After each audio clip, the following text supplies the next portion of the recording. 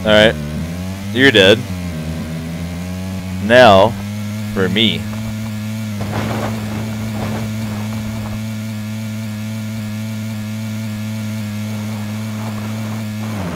Uh,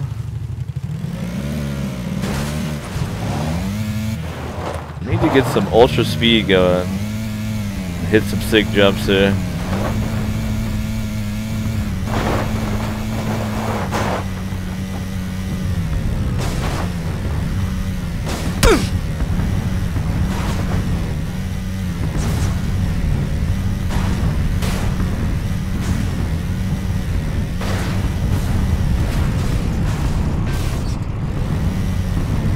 I think that was the sickest jump I've ever done in my life.